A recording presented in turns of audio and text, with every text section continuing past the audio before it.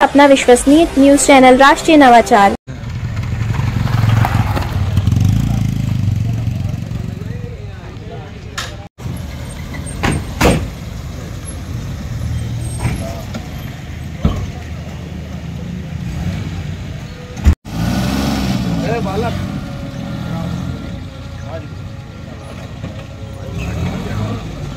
कितना? जाओ चले जाओ। बोला बोले बहुत बड़ा है, इसको पलटा के ले जाओ बोले गलत है। ये। साहब ने बोला बोले गलत है इसको ले जाओ पलटा के। लड़कियों गलत हैं, चौधरी जी सत्तर आ रही वही एंबुलेंस आ रही वापस। वही आ रही। किसी को बोल दिया वापस।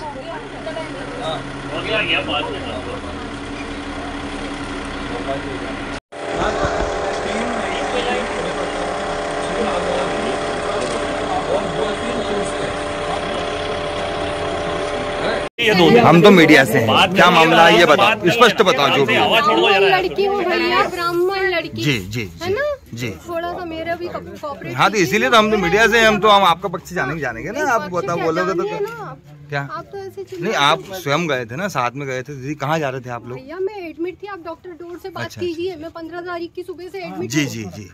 फिर बात कीजिए उनसे। अच्छा तो ह्यूमैनिटी नाम की चीज़ बची है।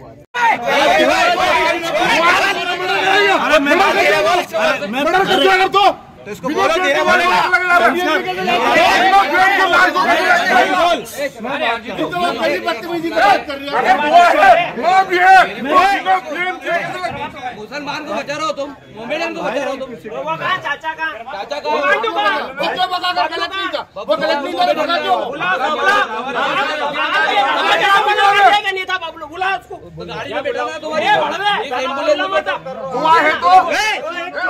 के चक्कर में सारे सारे लोग आ गए। प्रॉपर्टी करके मर गए। सब पूरे प्रॉपर्टी के लिए सारे आप मोमेडियन उस मोमेडियन के खाना खाया इनने रात को उसके बाद ये मर गई।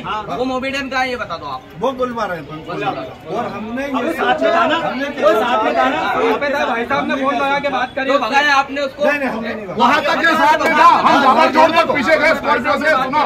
भाई साहब, अभी आप बीएनपी थाना पहुँचे हैं। क्या कुछ पूरा विषय है कौन सी कॉलोनी से आप आए हो, पूरा क्या मामला है? ग्रीन वैली कॉलोनी का प्रकरण है और जो इस महिला की जो मौत हुई, वो संदेहास्पद उससे रूप से हुई है और यहाँ पर इनके घर पे जो है, काफ़ी समय से हम देख रहे हैं कि असामाजिक तत्व, विधर्मी तत्वों का आना जाना लगा रहता था।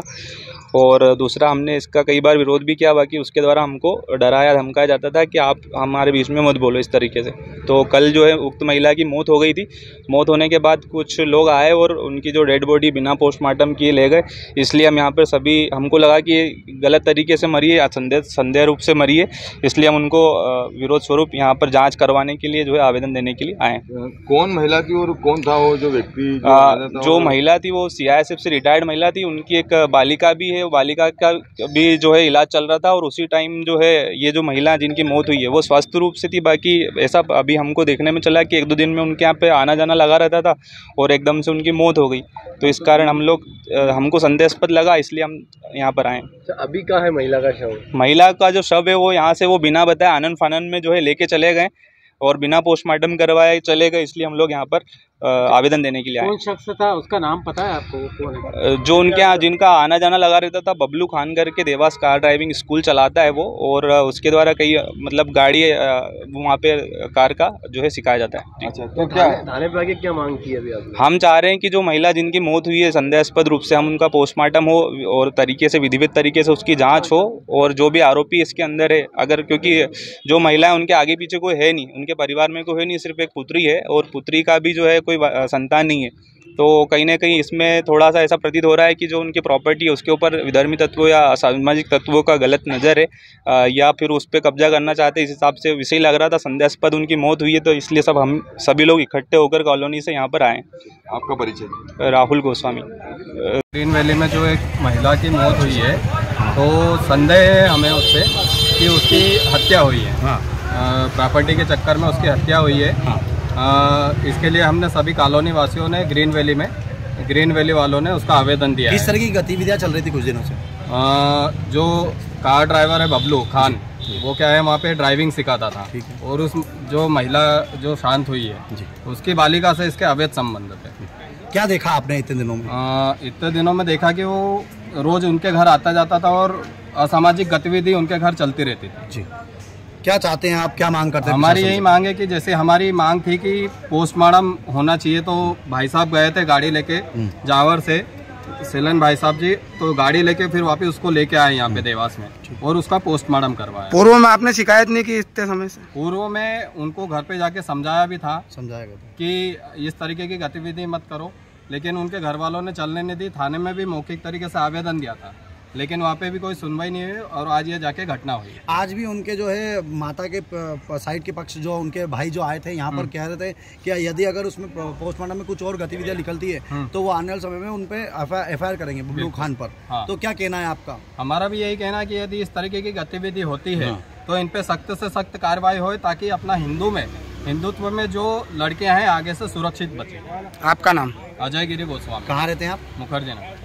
बताए क्या पूरा मामला और कहाँ आए आप? भैया हम गए ग्रीन वैली से हमको सूचना मिली थी ग्रीन वैली कॉलोनी है। वहाँ पर एक लेडीज़ की मौत हो चुकी थी। उस चक्कर में हमको वहाँ पहुँचाया।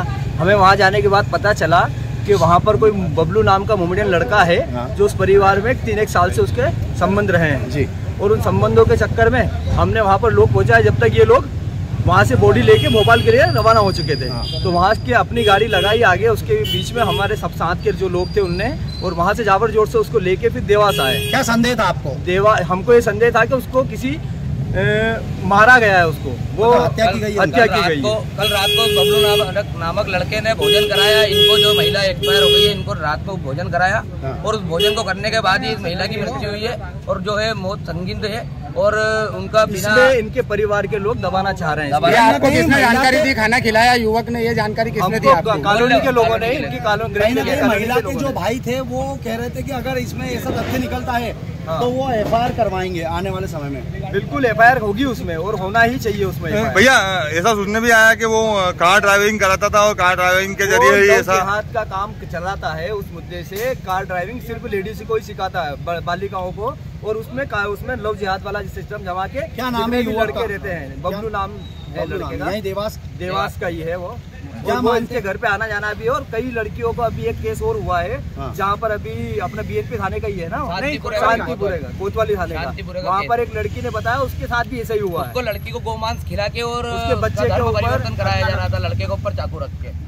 अभी आपकी क्या मांगे इस प्रकरण में? क्या होना मांग चाहिए? कि इसमें एफआईआर हो और इसमें सही निर्णय निकले। आपका क्या क्या आप क्या चाहते हैं देवास में जो हमारा ये चाहते हैं- बार बार जो सामने आते हैं हमारा ये देवास की जनता से भी निवेदन है कि जो आने वाली जो जनरेशन है उनसे भी निवेदन है। लड़कियाँ जो है लेडीज़ से जो है उनसे भी निवेदन है कि इस धर्म की व्यवस्था ना बिगाड़ते हुए धर्म में जो लोग आपके घर में घुस रहे हैं जो धर्म परिवर्तन करवाएँगे आने वाले समय में।